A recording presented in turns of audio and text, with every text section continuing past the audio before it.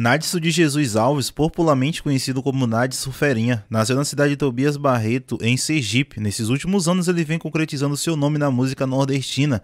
Seus últimos sucessos deixou o cantor, digamos, de passagem que nacionalmente conhecido. A faixa Na Ponta do Pé, que é uma regravação do cantor Livinho, por exemplo, já soma milhões de visualizações. E se o atual sucesso não fosse tão tarde, sem sombras de dúvidas, é uma das músicas mais tocadas das plataformas digitais.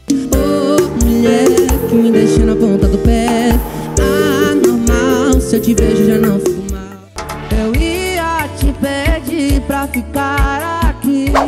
Fala minha rapaziada, como é que são vocês? São tranquilos? Mais um vídeo no canal Emerson Isley. Dessa vez você vai conhecer um pouco mais da história de Nadson Ferinha.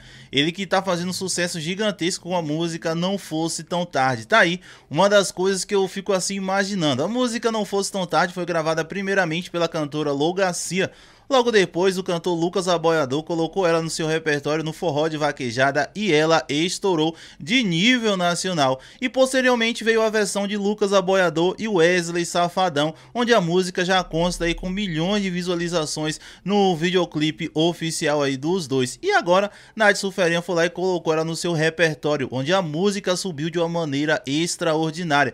Inclusive, fica aquilo na cabeça das pessoas. Qual das duas versões saiu melhor? A versão versão de Nath Suferinha ou a versão de Lucas Aboiador. E aí, qual das duas para você é a melhor? Deixa aqui embaixo nos comentários. E como eu citei anteriormente, ele nasceu na cidade de Tobias Barreto, em Sergipe, no dia 5 de junho de 2003. Hoje, com apenas 19 anos de idade, o artista é um fenômeno. Só para vocês terem ideia do que estou falando, ele já soma mais de meio milhão de seguidores somente em seu perfil oficial no Instagram, se tornando um dos artistas mais requisitados no meio do arrocha. Nádios que vem se dedicando à música desde muito novo, começou a se envolver no meio artístico com apenas 11 anos de idade. Nessa época, embora com a pouca idade, ele já dava seus primeiros passos como cantor.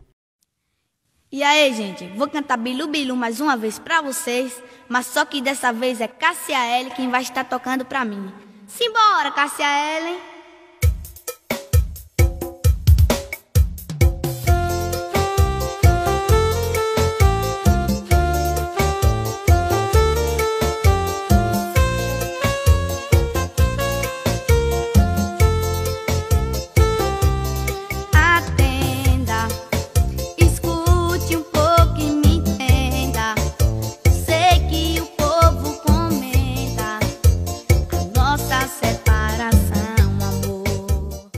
Crescendo vendo os grandes sucessos da Asas Livres, Nadson tem Pablo do Arrocha como sua maior inspiração, e foi através de sua admiração pelo cantor baiano que ele participou de um dos maiores programas de televisão, que já já eu falo para você.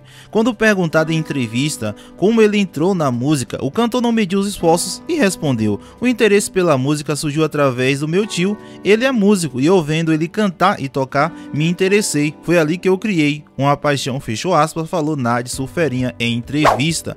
E vale lembrar que quem lhe apelidou como Nadson Ferinha foi seu tio Edinaldo. A história de Nadson começa a ganhar fôlego no ano de 2013, quando ele tinha em torno de seus 10 a 11 anos de idade. Na época, ele gravou um vídeo cantando e postaram o tal vídeo no Facebook. Foi então que o vídeo viralizou nas redes sociais com milhões de visualizações e compartilhamentos. Com a tamanha repercussão do vídeo, ele foi convidado para participar do programa de Gugu Liberato da Record TV.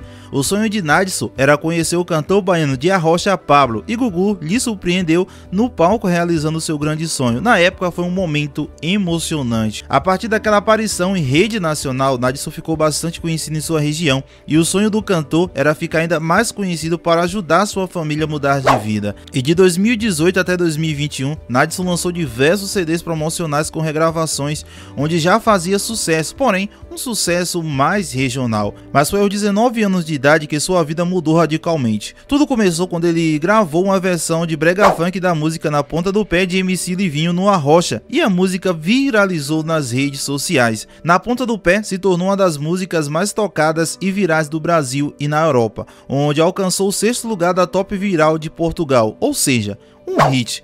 Não podemos deixar de falar da importância gigantesca da influência Ruivinha de Marte, onde com suas aparições dançando a música, ela cresceu muito nos aplicativos de streaming. Daí, em 2022 veio algo meio que inesperado, o sucesso da música Não Fosse Tão Tarde. A faixa foi gravada primeiramente pela cantora Lou Garcia, depois ganhou a primeira versão no Nordeste pelo cantor Lucas Aboiador no Forró de Vaquejada, que foi um verdadeiro sucesso. E logo depois, com a regravação de Nadis, as duas versões estouraram nas plataformas digitais, onde hoje ambas são bastante tocadas em todo o país. E você, prefere a qual versão? A versão de Lucas Aboiador ou de Nadis Sulferinha?